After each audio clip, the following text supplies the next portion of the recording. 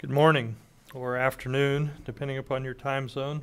Uh, I'd like to uh, thank you for joining us for this webinar on the uh, introduction to flash chromatography. If you um, have questions that come up during the uh, presentation, if you use the little chat box down in the lower right-hand corner of your screen uh, and type your questions in, then at the end of the uh, presentation, we'll go over those questions and see if we can answer them or uh, get you some information uh, in the future. What I'd like to do today is I'd like to just go over uh, an introduction, like we, like I said, an introduction to flash chromatography. I'd like to go through the definition of flash, some similarities between flash and HPLC, also the differences between the two, the advantages of the two techniques, look at the difference differences in chromatographic phases that are available for the two two techniques. And then I want to walk through how you would get started in, with flash chromatography. Flash chromatography is a purification technique. It was originally developed uh, back in uh, about 1978 by a, a, professor by the name of Dr. Still. And it was really set up to replace open column chromatography. It was a very simple idea that he had really was, when you look at it in retrospect, and that was to simply apply pressure to the column reservoir to speed up the flow of mobile phase through an open column in doing the separation. Typically, in all cases of flash, uh, the solvent uh, has been normal phase and the uh, media has been, the stationary media has been silica gel. That's been changing the last few years, but uh, up until the early, uh, about the, about 2007, 2008, that was the traditional silica gel with a normal phase, mobile phase.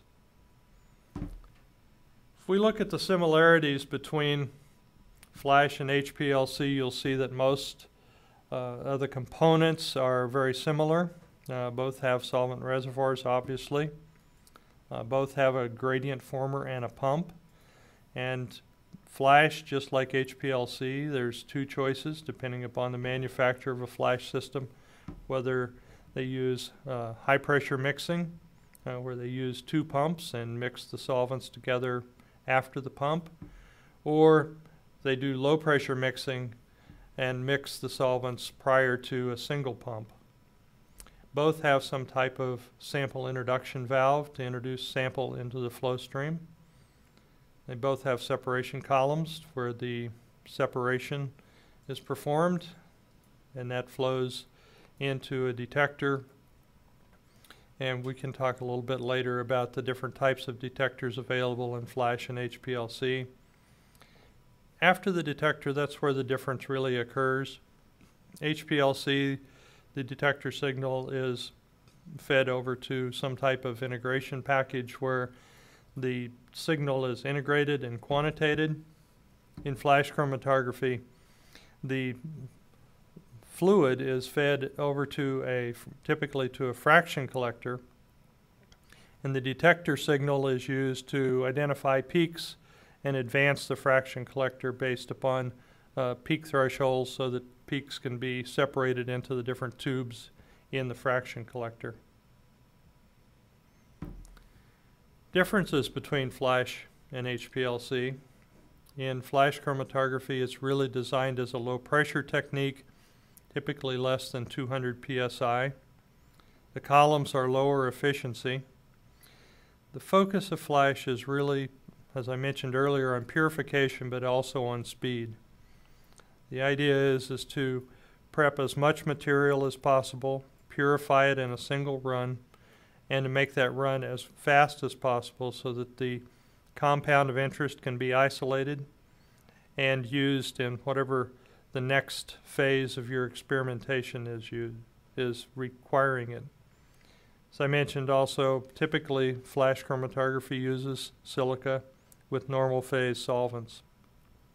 HPLC, on the other hand, is uh, a high pressure technique where pressures are greater than 1,000 psi. And you've probably heard a lot about UPLC, where the uh, have ultra high pressures, sometimes greater than 10 to 15,000 psi. The columns are all high efficiency columns where there's uh, uh, very small particles, in some cases submicron particles, and very uh, small particle size distribution in the, in the columns.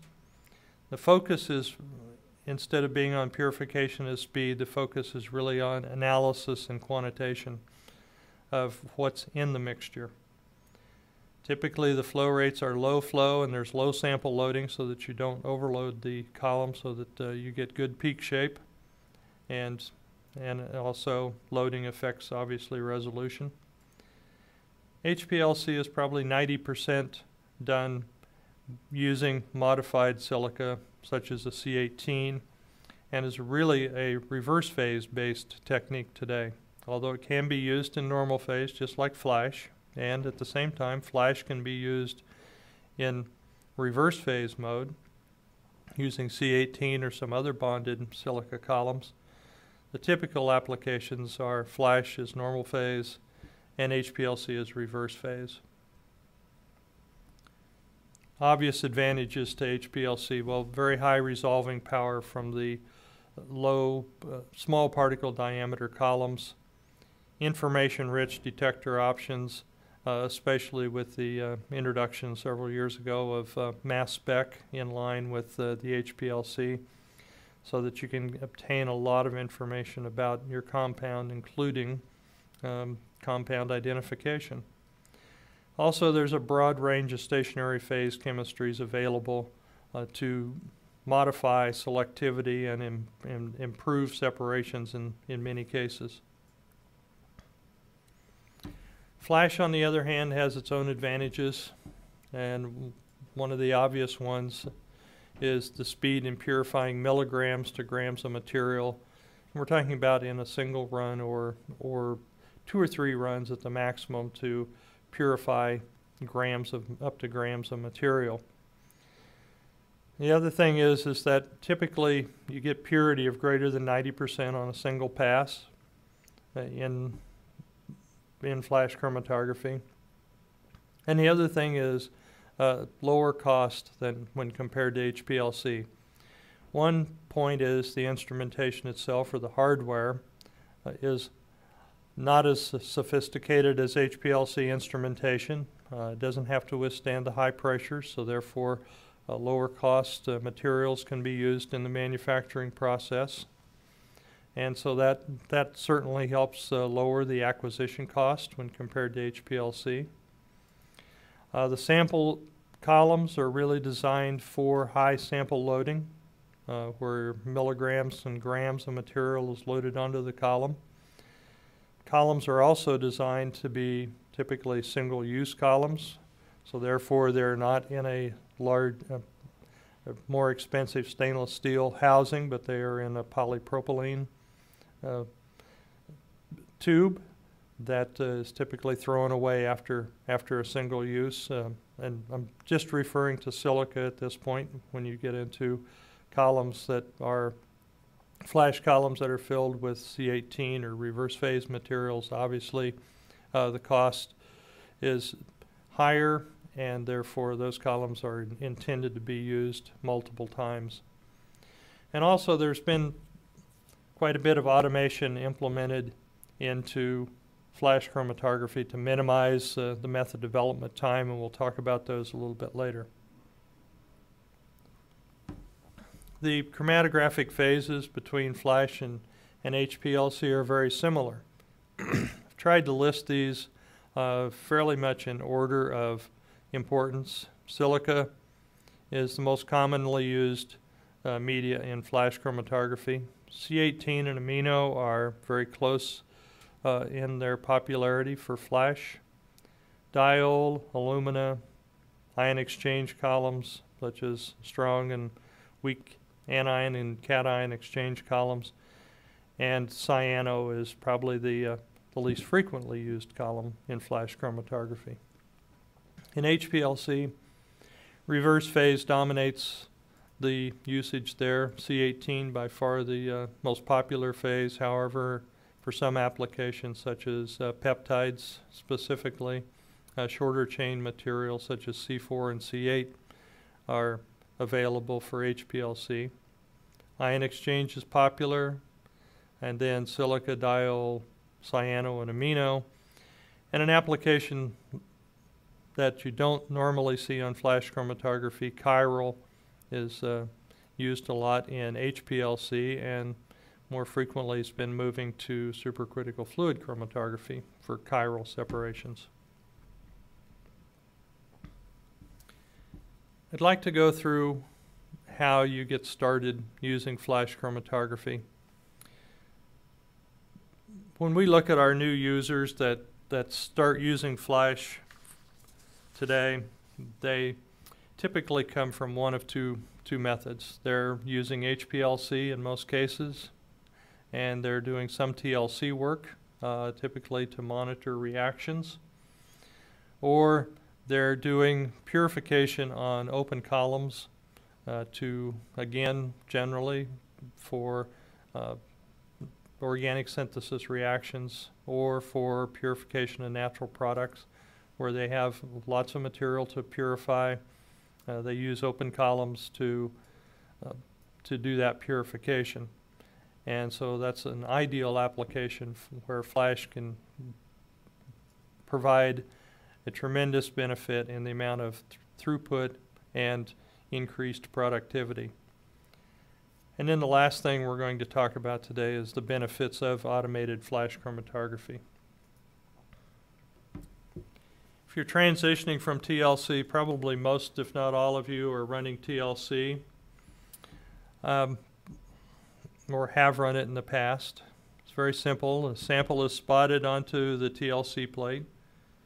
I can get my uh, cursor over here, and you can see here where we've drawn a line on this TLC plate at the origin, and we've spotted uh, three different samples in this example.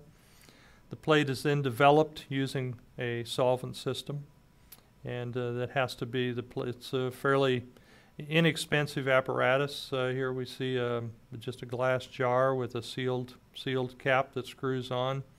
Uh, we have a solvent and the TLC plates in in the solvent. biggest condition is that the solvent has to be uh, level needs to be below where you've spotted the plates so that they're not just simply dissolved into the solvent. Solvent through capillary action migrates up the plate over time. And in this case, we see that we've drawn a line up here where the uh, solvent front has migrated. And these two lines are important, and I'll show you how, why they're important in just a minute. Generally, uh, these plates are silica. If you are doing uh, reverse phase flash, there are uh, there are corresponding reverse phase TLC plates to help you uh, develop, uh, get an idea of what solvent systems to use uh, on your flash system by utilizing TLC as a as a scout. So one of the things that's typically calculated in TLC is retention factor or RF. Retention factor is simply the distance the compound traveled, or the compounds travel, versus the distance the solvent traveled. And so here you see we have the origin marked. We have our solvent front indicated by this line. And so we're going to measure the distance between these two, and in this example, this is about 90 millimeters. We have our target compound that we've marked here, and it has an RF or it's moved up about 28 millimeters while the solvents move 90. So the RF is simply the this division. So this gives us an RF of 0.31. So it's moved about a third of the way up the plate in regards to the uh, solvent movement. And in this example, you can also see a couple of impurities, one that travels pretty much with the solvent front, and another one which is uh, traveling at about 0.8 or 0.9 RF. So it's traveling very, very rapidly up the up the column as up the TLC plate as well.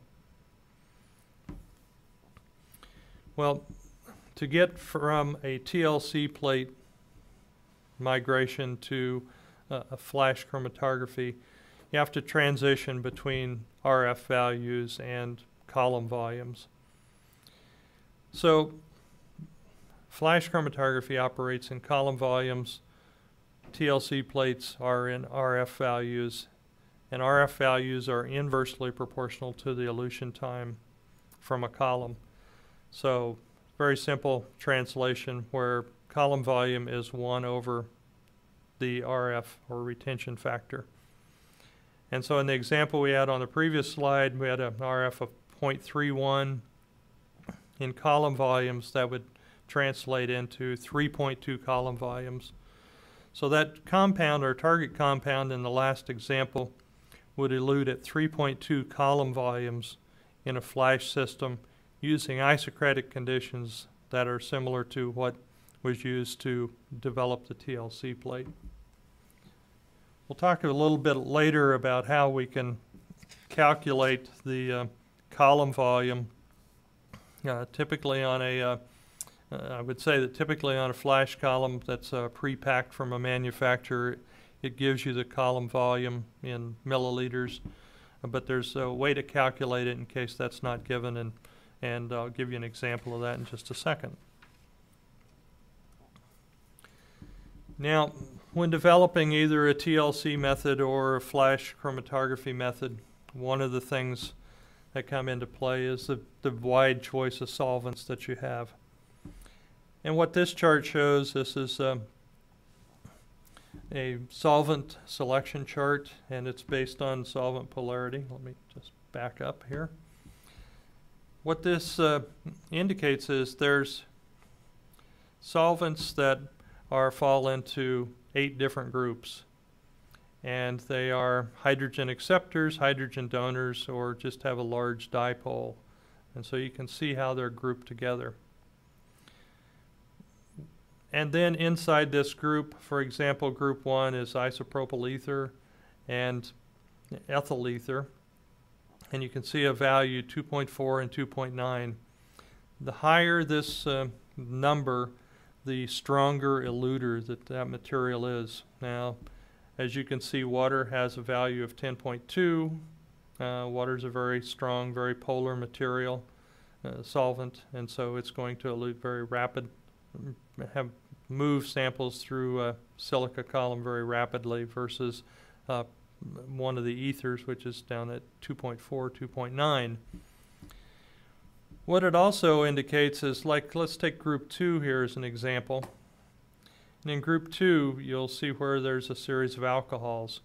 They all have roughly a very similar elution power except for methanol, which is a much stronger eluter. But as long as you stick with group two, you can change the elution time by changing from one of those alcohols to another alcohol with a stronger value. However, to affect the separation or the selectivity of the mobile phase for your particular compound, you really need to move from one group to another group for your for your stronger modifier. So, uh, by using uh, butanol or propanol, uh, you won't get much difference in selectivity. You'll get some shift in in elution time. But however, moving down to like a tetrahydrofuran will give you an increased selectivity over propanol, or a different selectivity, I should say, over propanol. Uh, however, the retention times would be pretty similar because their uh, elution values are, are very similar. Just a quick example of this. This is an example of uh, a compound where we're running hexane ethyl acetate, 50% of each. And you can see how the two peaks are very close together. And if you look at hexane, it has essentially no elution solvent strength. So ethyl acetate is 0.8. And if I substitute ethyl acetate for dichloromethane, which is 0.4, but then I double the concentration of that, I essentially have the same uh, solvent strength. However, you can see how these two compounds uh, have much different selectivity even though their retention time for the top one is about the same. And if I would go back, you would find that ethyl acetate is in one group. I can find it on this chart, it's in group 6, whereas dichloromethane or methylene chloride's in group 5. So you can see that just going from group 1 or from group 5 to group 6 for your organic modifier can change the selectivity significantly even though the retention times or, or RF values in the case of TLC stays pretty close to the same. Well, when working with optimizing flash conditions, moving from the TLC data, you really uh, can't predict what the resolution on a flash system is going to be uh, from the TLC. You have to talk about delta CVs or delta column volumes. And that can be determined by this equation here where you take the retention factor of peak 1 minus the inverse of the retention factor of peak 1 minus the reverse of the, the inverse of the retention factor for peak 2 and by calculating this delta CV you can it's a much better predictor for how your compound is going to separate on your columns. Series of examples that shows this. Here's a mixture of A and B run under three different uh, conditions. And you can see here where you have an RF of 0.5 versus 0.4, or a delta of RF of 0.12, or a delta CV of 0.6. And you can see here where the separation is fairly close together the two components of interest. Here we have an RF of 0.3 versus 0.2, a delta CV of 1.6. Even though the delta RFs don't change very much, we have a very significant separation. And here, fairly extreme example, where you have very low RF values, a delta RF which is even lower, poorer separation than we had on the TLCs. Here, however, we have a larger delta CV. And the real goal here is to maximize the delta CV uh, in our flash system.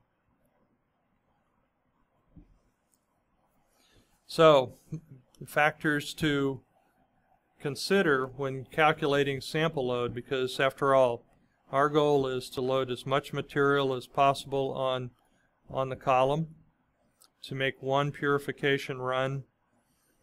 And so the resolution that we calculated the, from the TLC plates actually plays a significant role in calculating what that sample load can be.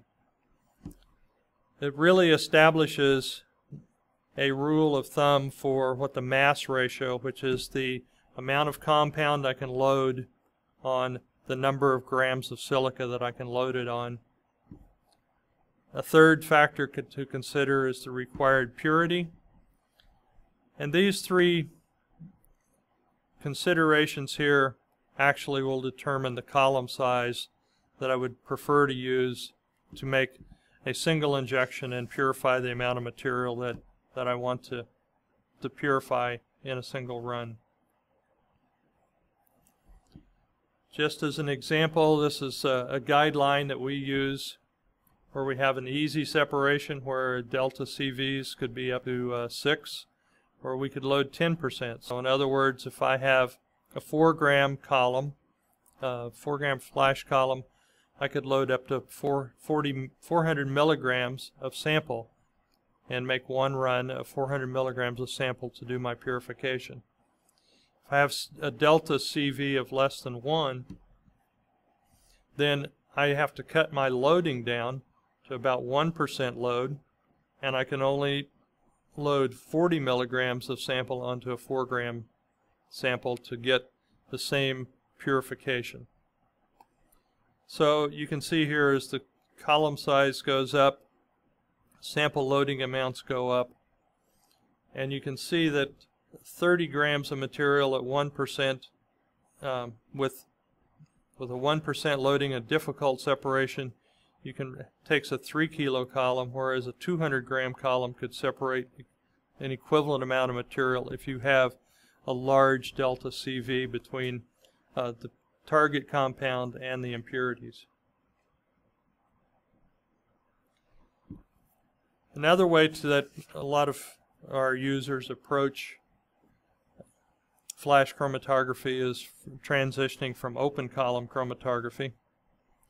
It's a fairly simple technique as to how to get from open column chromatography results to flash chromatography. One thing to do is what you really have to calculate here is you have to calculate simply have to calculate the column volume of the of the dry or the open column that you're using.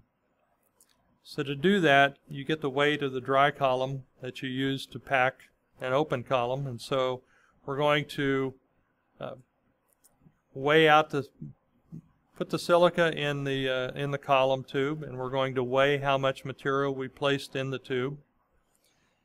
Now, if you slurry pack your columns, what you really want to use in this case is a non-volatile solvent. Solvent if you're doing uh, you want to, actually you want to use a non-volatile solvent to reduce evaporation if you're slurry packing. If you're dry packing, you want to wet the material with a non-volatile solvent after you pack it because what we want to do is we want to determine the volume of liquid that's contained in the column. Obviously, you're all aware that when you pack a column like this, there's uh, space that's around the particles uh, that's filled with air initially. And that's the column volume space. That's the amount, the, the volume of liquid that can be can be used to fill those open spaces where the particles touch one another but uh, don't don't completely fill in all the gaps. So the first thing to do is after you've got your column wetted is to drain the column down to where it's uh, the liquid is at the top of the silica bed and then collect in an empty container you want to completely drain the column and then you either weigh or use a volumetric flask to determine how much volume of liquid was contained in the tube. And that's the that's one that equals one column volume for that weight of silica.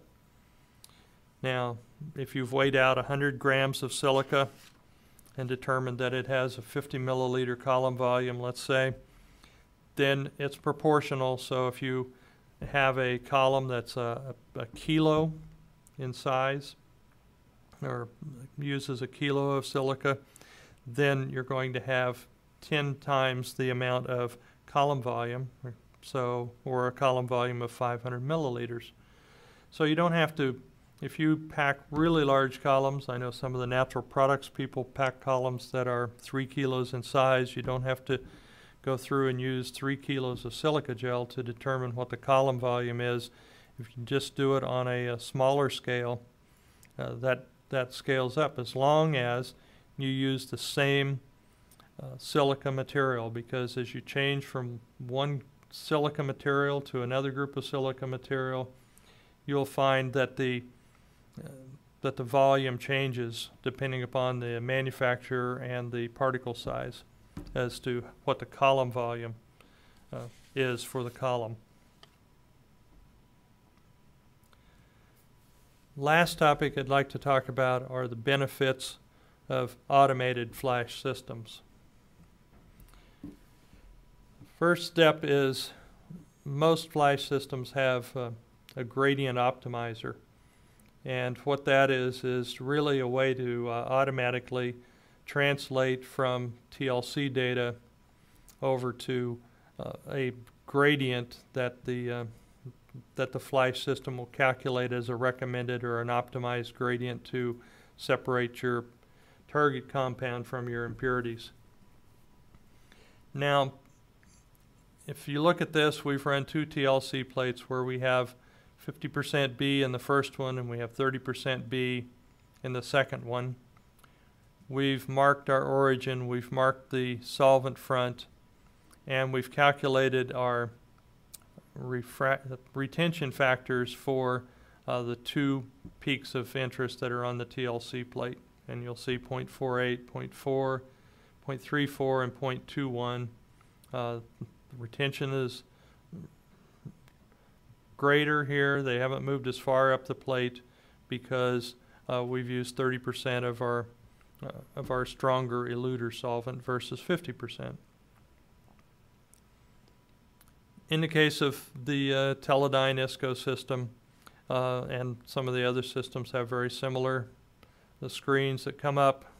So it simply tells you here on the gradient optimizer, you run two TLC plates, and you put in the conditions for those two TLC plates as a percentage of B, load in your target and impurity data from your TLC plates, and as soon as you click OK, it will calculate the optimum gradient conditions and program the uh, flash instrument to run those gradient conditions.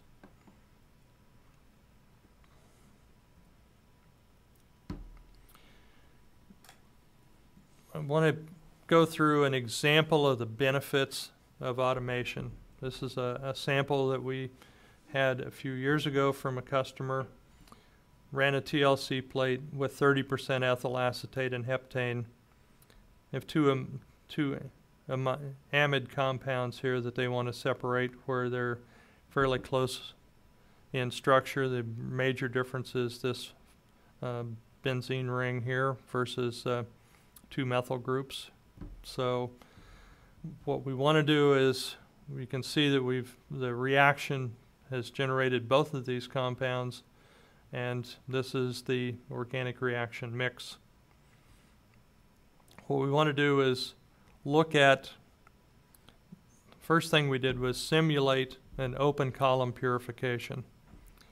And the goal is obviously to achieve 100% purity of both compounds in all examples that in this run we used a, a 12 gram silica column. And here you can see where we ran 30% isocratic ethyl acetate in heptane and then 25 and 20%. And what we're looking at is we're looking at the fact that when you did a TLC of the various fractions that were collected, you can see where we have some of, of mixtures of compounds here. When we moved to 25%, we only had one fraction that where we had crossover, where we had a mixture. And at 20%, there was one fraction where uh, neither the early eluting or the late eluting compound uh, was collected.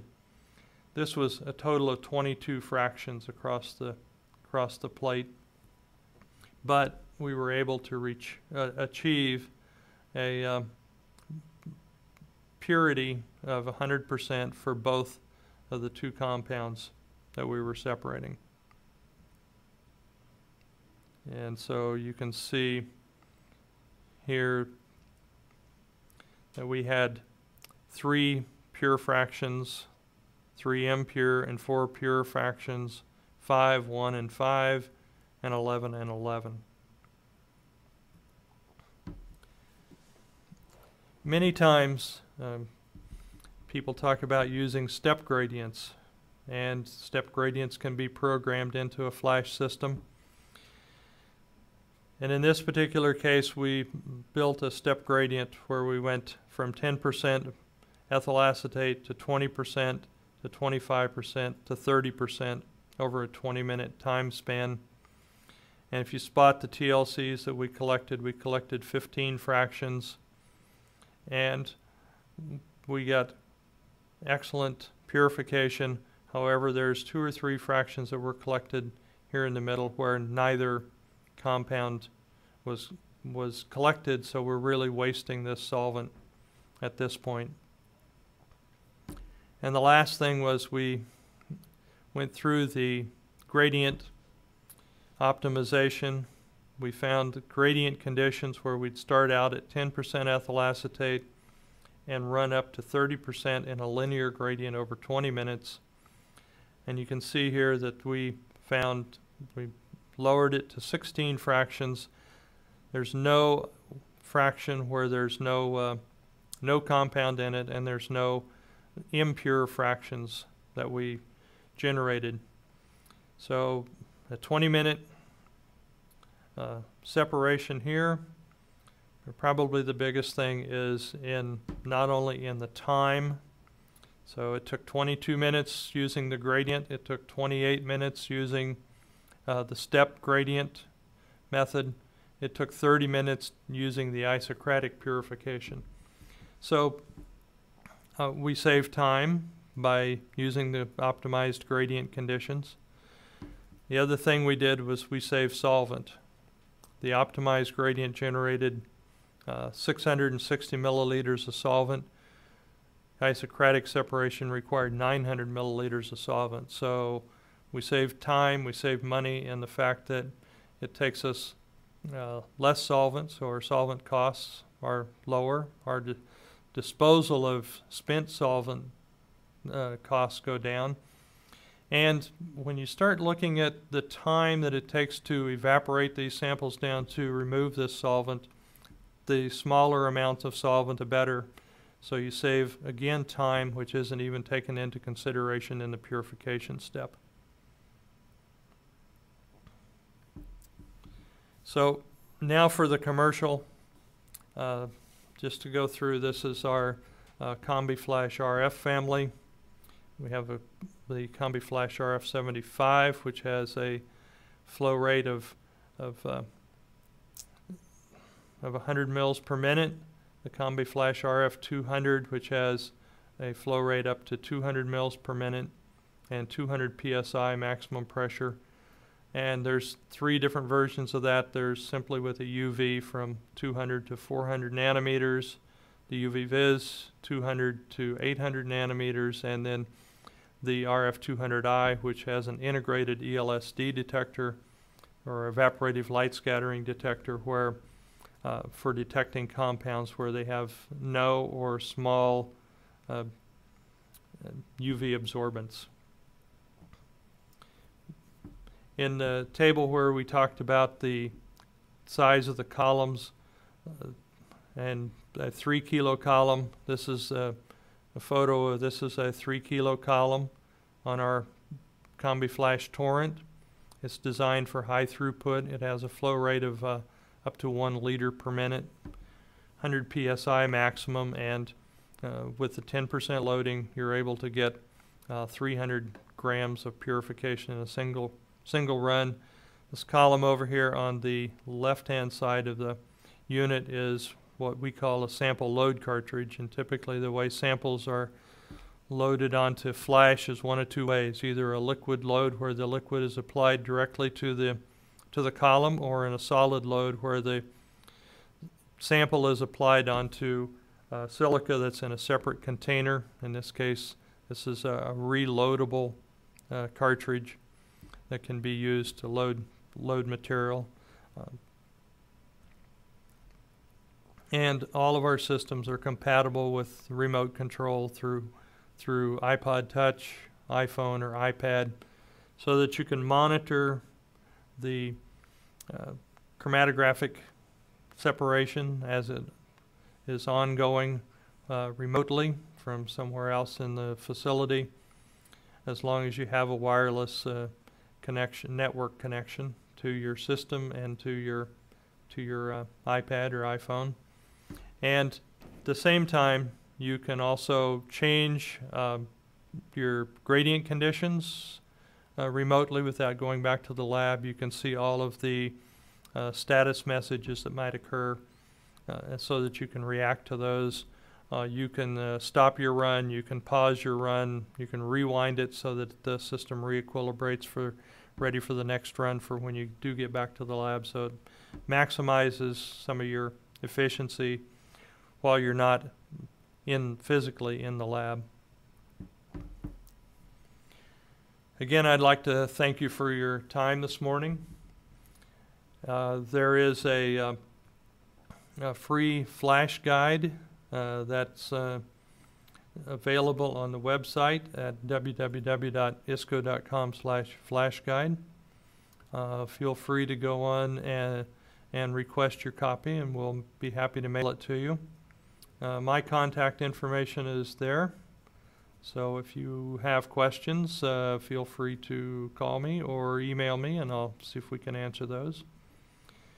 And lastly, uh, we will have some upcoming uh, flash, uh, additional flash chromatography webinars. Uh, one that's focused on sample loading techniques.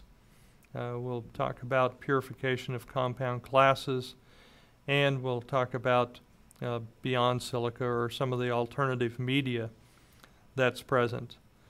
Again, thank you very much for your time and have a great day.